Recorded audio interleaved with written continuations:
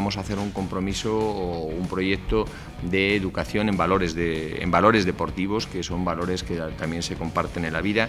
Y además de todo esto vamos a establecer también un programa de becas y ayudas al estudio para eh, los jugadores principalmente que ya entran en edad universitaria, sobre todo los jugadores de tercera división. Y vamos a desarrollar también, que esto es importante, una serie de proyectos de investigación en torno al deporte y en torno al fútbol en particular. Lo más importante radica en que los chavales, la gente joven que tenemos dentro de la estructura del club pueda estar asesorada eh, por personas importantes para que su desarrollo académico pueda llegar a los mejores eh, logros. Vamos a patrocinar al equipo de tercera división y al equipo juvenil que compite en la categoría nacional.